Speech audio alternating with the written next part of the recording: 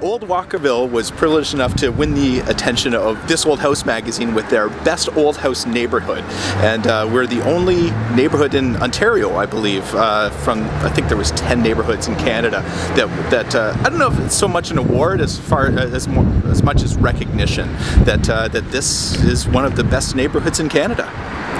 Makes it a good neighborhood? Oh, look at it. It's uh, you do not see neighborhoods like this anymore. It's uh, you know beautiful pre-World War uh, One housing stock. It's all intact, uh, and, and, it's the urban design of the neighborhood that really makes it exemplary. It's you you can walk everywhere from here. The the way the houses address the public spaces, the streets, the uh, the sidewalks. Every house has a front porch where you can sit out front and, and interact with your neighbors. Uh, everything's within close walking distance. You don't really need a car as much here as you do in some of the other neighborhoods in the city.